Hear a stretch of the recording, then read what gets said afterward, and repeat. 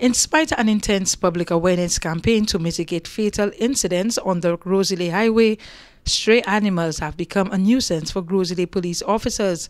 Police blame the owners of the stray animals for not paying attention to their own animals along the highway. The owners of these cattle, they know themselves.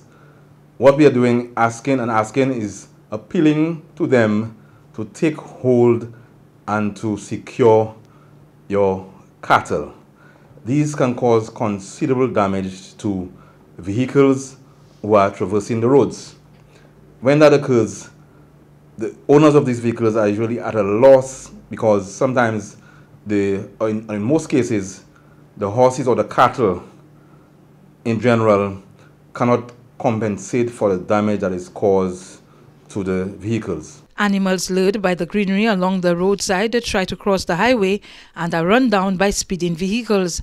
However, police say that owners have failed to respond to their repeated calls to secure the animals better.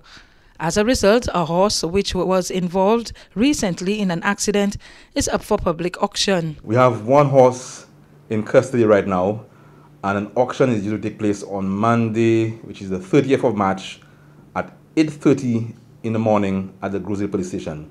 So we're asking persons who are interested in, obtain, in um, obtaining and buying the horse to make themselves available at the police station where the auction is taking place so that it can be disposed of. We have a, an authorized auctioneer who does the auctioning for the cattle in such instances. The police say the stray animals are also becoming a pain in the neck for motorists. Police also say for some reason the owners of the stray cattle refuse to claim them. For the DBS News World, I am Cecil Actel.